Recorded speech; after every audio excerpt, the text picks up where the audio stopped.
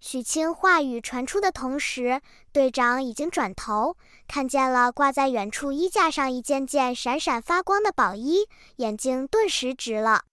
宝衣足足数十件之多，每一件都是整齐的挂在那里，布料很是平整，没有一丝一毫的褶皱，且彼此之间还有间隙。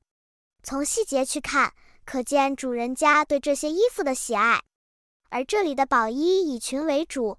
其中一件翠绿烟纱碧霞裙，其上以鲜玉炼成素丝，绣出大朵牡丹，更以仙金点缀，逶迤拖地的同时，可见下摆如粉色水仙散花般，颇为绚丽。尤其是一旁还套着金丝薄烟翠绿纱，可以想象，哪怕寻常女子穿上，也都会华丽生辉，更添几分姿容。还有一件碧绿宫装翠烟衫。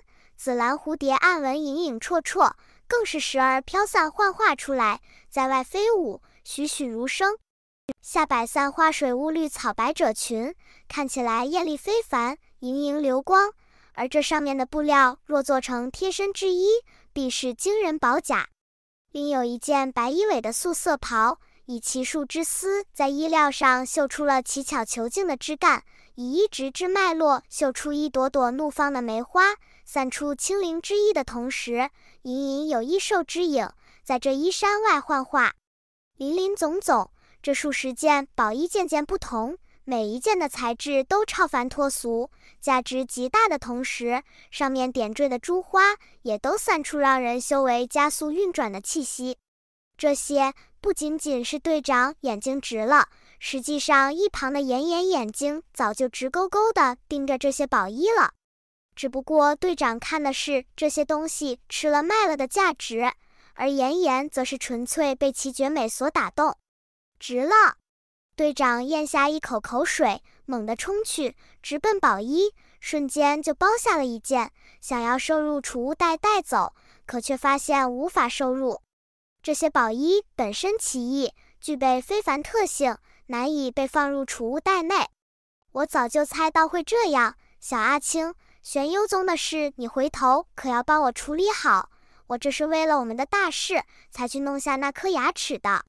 队长说着，右手一挥，顿时其面前出现了一颗一人多高的锋利大牙。这大牙上有一片区域被金色侵袭，已深入牙齿之内。此刻一出现，就有惊人波动散开。许清扫过后，立刻认出这颗牙正是妖蛇的牙齿。妍妍没见过妖蛇，看到这大牙后吸了口气，感受到了这此牙的不俗。手里有牙，队长傲然。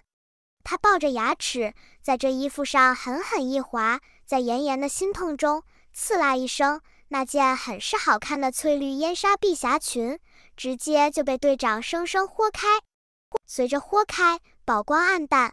好好的一件衣服，此刻出现了一道触目惊心的伤痕，而队长似很享受这个声音，快速的划来划去，就这样刺啦刺啦之声中，这件宝衣一片残破，但不影响上面点缀织物的收取以及这些布料本身的价值。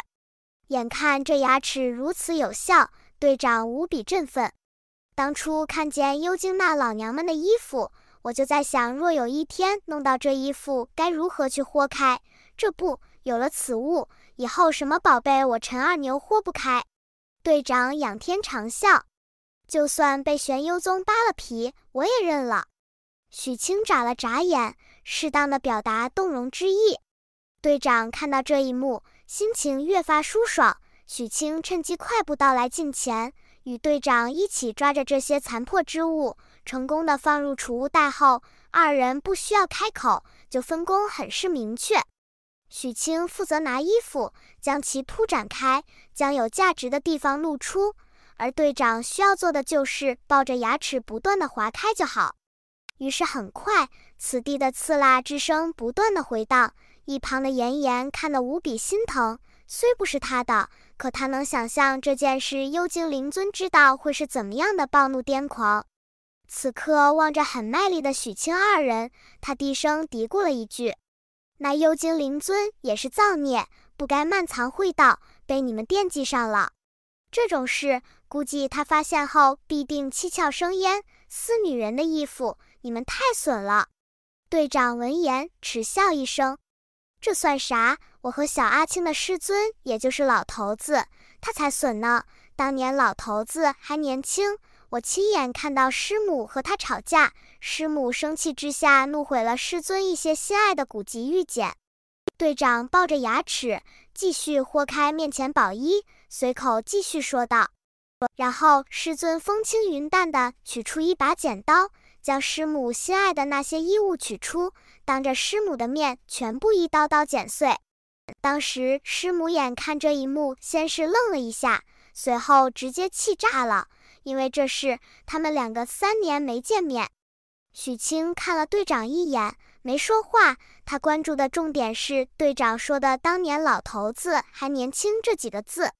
师尊如今年纪不小了，从这也能看出。队长的重修应该不知多少次了，而妍妍关注的是这件事带来的感觉。毕竟男人对于事情首先是逻辑，而女人对于事情注重的是感觉。于是他很容易就带入进去，感受到了许清师母当年内心的抓狂。真损！言言无语，但也飞速加入进去，帮忙收取。就这样，三人忙碌起来。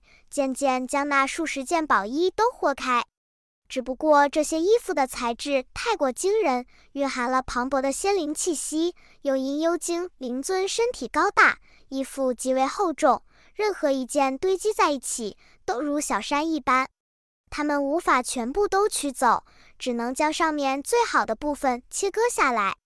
所以很快，这里的每一件衣服都是破破烂烂，有的成了一条条如门帘，有的则都是窟窿，好似乞丐服。与此同时，外面的轰鸣还在回荡，越发剧烈，地动山摇之感也无比强烈。许清眼看如此，立刻开口：“我们走吧，再不走会有危险。”许清说着。斩断自己内心对此地的贪意，身体一晃就要离去。妍妍犹豫了一下，也飞速退后。队长原本心底还不甘，他准备再找找，又或者将地面的灵玉砖扣出。可看到许清与妍妍要走，他忽然想到海狮族内的一幕，当时自己就是这么背过的。于是他深吸口气，咬牙随着许清和妍妍飞速离开洞府。见好就收，见好就收。我要改一改过分贪婪的好习惯，这一次不能贪。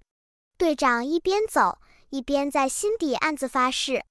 很快，三人就顺着入口窟窿冲出洞府，各自开启隐匿后，向着山下疾驰。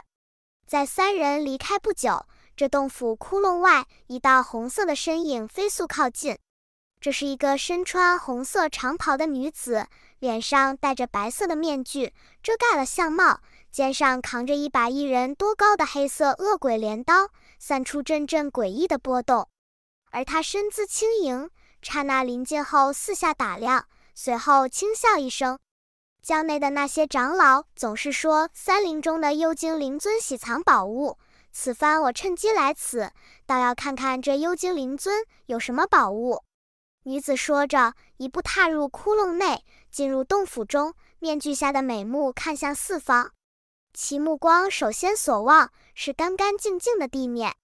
虽外面大战，山体处于坍塌之中，可此地很奇异，居然这般整洁。女子低语，但下一瞬，当她抬头看向四周的墙壁时，愣了一下。墙壁上很多地方都有凹槽，看其造型，似曾有珠子在内。女子迟疑，快速走过洞府，在多个房间里查看后面色渐渐难看。她发现，就连桌床之类的家具也都空了，直至最终看到了满地残破的衣衫。她吸了口气，有人比我快了一步，此人莫非老鼠变得不成？又或者与幽精灵尊有深仇大恨，竟这般毁衣夺宝？女子猛地回头。飞速离开，心底满是警惕。与此同时，在第三山靠近山脚的位置，许清三人隐匿自身，正急速前行，打算离开这片区域。如今满载，许清本能的不想继续留下，尤其是想到储物袋内的那些宝贝，他想尽快离开，不想发生如海狮族那样的事情。但队长则是满脸遗憾，他觉得这一次很不过瘾。小阿青，这一次不刺激呀？队长低声开口。许清觉得这句话有点熟悉，立刻警惕，拉着妍妍加速疾驰。队长在后面连连叹息，不时抬头看向远处的第二山，舔了舔嘴唇。要不我们去第二山再看看？许清刚要开口。可就在这时，突然苍穹传来一声惊天轰鸣，更有凄厉之音回荡，传遍八方。这声音太过剧烈，许清三人哪怕距离不是特别近，可还是受到了波及。三人身体狂震，许清喷出一口鲜血，炎炎身体上碎裂了十几个玉茧，一样喷出鲜血。队长同样全身一震，鲜血喷出中，三人骇然地抬头看向天空，目中所看，苍穹上此刻分化三个身躯，正在与三位执剑者交战的幽精灵尊，他的一具分身此刻竟被其对手执剑者一剑刺入心脏位置，一拳碎灭小腹，更有一尊大印幻化，散出恐怖滔天之威，弥漫了无穷道韵，猛地一砸。顿时，这幽精灵尊分身的小腹和胸口爆开，传出凄厉惨叫的同时，也被那蕴含道韵的大印砸在了身上。此印的出现，显然是早有准备且有所针对。此刻一击虽没致命，但也直接就断开了幽精本体与分身的联系。下一刹，这重伤的分身直接就从天空呼啸坠下。砸在了第三山与第二山之间的大地上，地面轰鸣震动中，这分身失去了意志，一动不动。而其伤口处露出的居然不是血肉，而是耀眼的仙灵之芒以及浓郁至极的仙灵气息，闻一口都让人精神振奋。地面尘土飞扬，波动强烈，好似有地龙翻身，剧烈摇晃间。许清三人神色各自变化，妍妍是心惊肉跳，可队长那里却是目中刹那疯狂起来。小萌心瑟瑟发抖的祝贺大家终于可以说话啦！我有预感自己好日子到头了，有一种老板们集体休假结束来公司上班的感觉。那个我病还没好，老板轻点吐槽。另外，光阴之外九万九千九百九十九均定啦。可，然后求保底月票。